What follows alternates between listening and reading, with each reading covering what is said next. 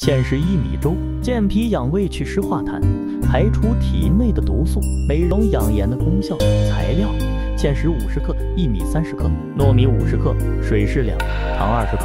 制作方法：一、芡实、薏米、糯米洗干净；二、芡实先下锅煮到裂开，再放入薏米煮到熟；三、再加入糯米煮到熟；四、起锅前加汤即可。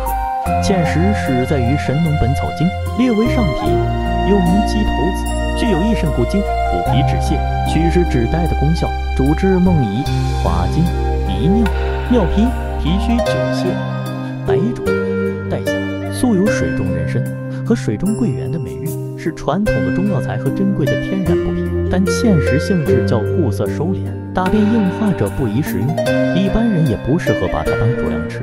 这道粥制作非常简单，大家试试看。